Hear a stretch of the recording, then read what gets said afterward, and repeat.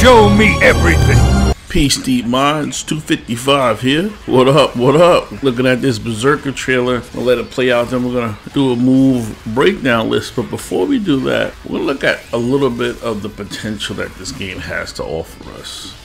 I think that's important.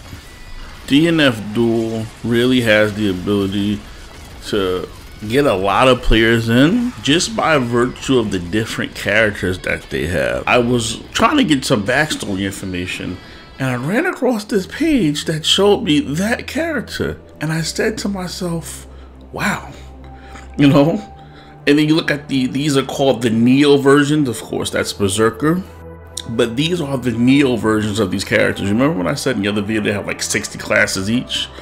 That certainly looks like it's the case advancement classes anyway. So this game's gonna be able to pull a lot of people because it has a lot of different fighting game characters or MMORPG characters. Maybe, maybe the longer you've been playing with those MMORPG characters, the more you're gonna want to play this game.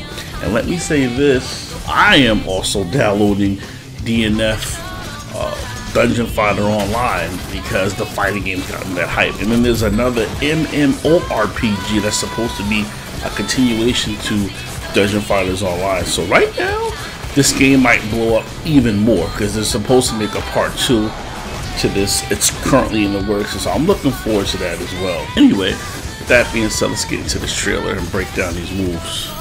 This character looks like he has good range on his normals. Just look at the size of his sword.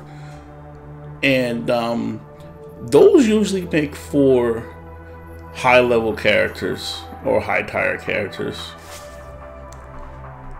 This combo here though, it looks like he does three hits, does a special, and then he goes into another special. That's what that looks like to me. That's about a six or seven hit combo and depending on the recovery, definitely would make for a top tier character.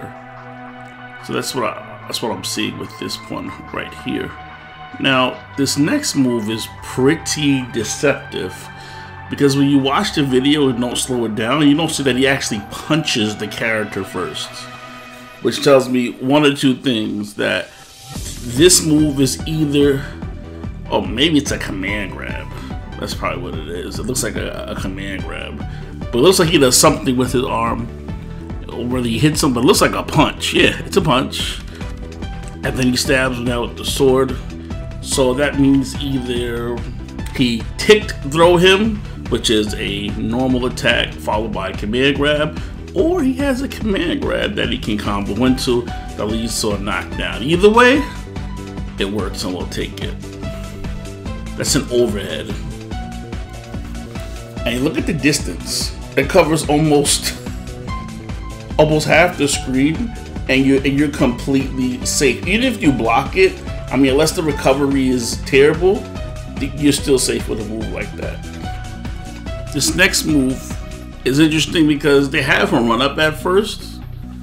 And that's kind of scary too for a character. I, I mean, if his normals have fast startup and they have good range, and I have to keep in mind that other characters have weapons and they'll probably have good range too, so that would even it out. But fast normals with long reaching weapons and a character being able to run, and most games would be OP because traditionally characters with weapons that hit that are long range weapons, they're traditionally slow and you can kind of use your range to beat a character who's faster than you. Thinking of Soul Calibur, for example. But um, in this game, they don't seem to be putting those limiters on. This is Deep Minds 255.